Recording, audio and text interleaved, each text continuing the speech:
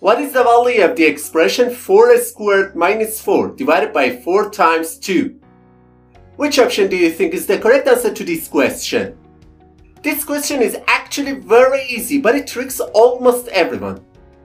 Let's break it down step by step together. To solve this problem, many people start by calculating 4 squared first, and instead of the original expression, they rewrite it as 16 minus 4 divided by 4 times 2. In the next step, they usually perform the subtraction between 16 and 4 and simplifying the expression to 12 divided by 4 times 2.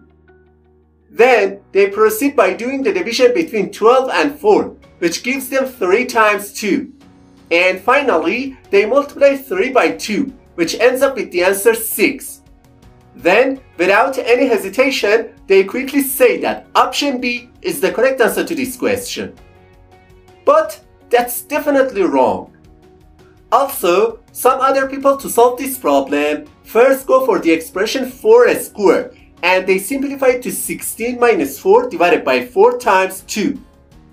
In the next step, they usually go for the multiplication between 4 and 2 because they think multiplication has priority over division. So, they write this expression as 16 minus 4 divided by 8. Next, they perform the division between 4 and 8 since they believe division has priority over subtraction. And they write this expression as 16 minus 0.5, which ultimately gives them the answer 15.5. And immediately, they conclude that option D is the correct answer to this question. However, this answer is absolutely wrong. Now let me show you step by step how to solve this expression properly. To solve this problem, we must follow the PEMDAS rule it means that we need to perform all the operations in order from top to bottom. Alright, as you can see in the image, in this expression, first we have an exponent, then a subtraction, followed by a division, and finally a multiplication. We should start with the exponent, because in this expression, exponent has a higher priority than the other operations.